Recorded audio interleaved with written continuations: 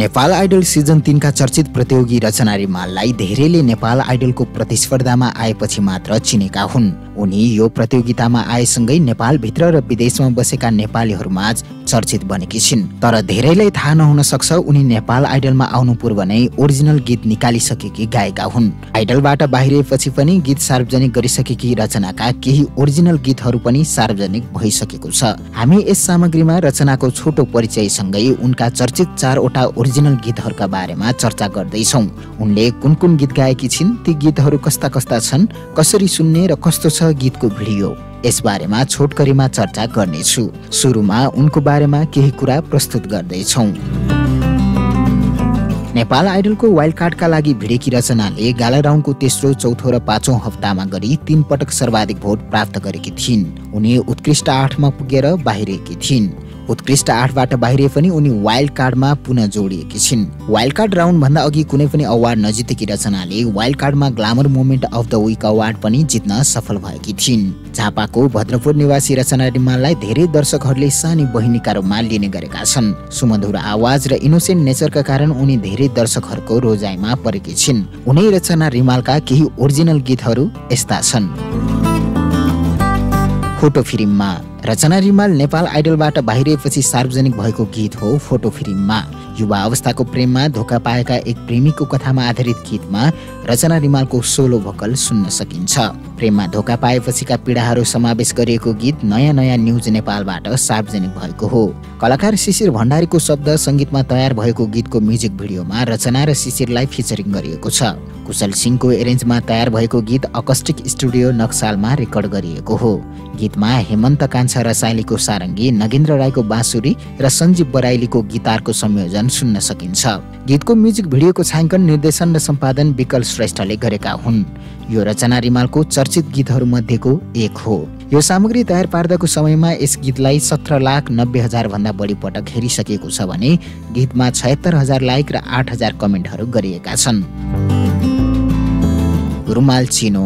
रचना रिमालको आफ्नै आवाजमा सजिएको अर्को गीत हो रुमाल चिनो। रोमान्टिक जेनरमा तयार भएको गीतमा एक प्रेमिकाको रोमाञ्चक भावना समावेश गरिएको छ। चर्चित सङ्गीतकार बसन्त सापकोटाको अफिसियल च्यानलबाट सार्वजनिक भएको यो गीतमा बसन्त सापकोटाकै शब्द र सङ्गीत सुन्न सकिन्छ। सञ्जीव बराइलीको एरेन्जमा तयार भएको गीत प्रिजमा रेकर्डिङमा रेकर्ड भएको हो। अडियो भर्जन मात्र सार्वजनिक भएको यो गीतलाई यो सामग्री तयार पार्दाको समयमा छ लाख चालिस हजार भन्दा धेरै पटक हेरिएको छ। गीतमा अठाइस हजार लाइक र करिब दुई हजार कमेन्टहरू गरिएका छन्। कोसँग बोलौँ मनको गाँठो फुकाएर। रचना रिमालको आफ्नै आवाजमा सजिएको अर्को चर्चित गीत हो कोसँग बोलौँ मनको गाँठो फुकाएर। जीवनका यथार्थ अनुभूतिहरू समावेश गरिएको यस गीतमा मानिसहरूको पचाउन नसकिने सामाजिक व्यवहारहरू केही मनका वेदनाहरू र मनका कौतूहलताहरूलाई व्यक्त गरिएको छ। लिरिकल भर्जन मात्र सार्वजनिक भएको यो गीत युवा मन नेपाल च्यानलबाट सार्वजनिक भएको हो। गीतका शब्दहरू कृष्ण उदासीले लेखेका हुन् भने सङ्गीत गौरव दर्पणले दिएका हुन्। पर्पल स्टुडियोमा रेकर्ड गरिएको गीतलाई नोर्बु शेर्पाले एरेन्ज गरेका छन्। यो सामग्री तयार पार्दाको समयमा यस गीतको लिरिकल भिडियोलाई एक लाख चौसठी हजार भन्दा बढी पटक हेरिएको छ भने आठ हजार भन्दा बढी लाइकहरू गरिएका छन्। गीतमा करिब पाँच सयवटा कमेन्टहरू गरिएका छन्। लेक बेसी। रचना रिमालको आफ्नै आवाजमा सजिएको अर्को चर्चित गीत हो लेक बेसी।